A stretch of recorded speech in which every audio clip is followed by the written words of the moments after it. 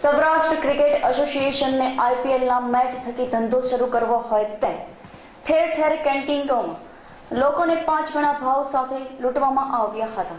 કોઈ પણ પ્રકારના મહત્તમ ભાવની ચિંતા કર્યા વગર પાંચ ગણા ભાવ વસૂલવામાં આવ્યા હતા. ગત સિઝનમાં પણ આવી જ લૂંટફાટ ચલાવવામાં આવી હતી અને દસ રૂપિયાની તેમજ બાર રૂપિયાની કિંમતના આઈસ્ક્રીમ કોલ્ડ ડ્રિંક્સ વેફર્સ વગેરેના પચાસ રૂપિયા લેવામાં આવ્યા હતા. અહેવાલ વિજય મકવાણા.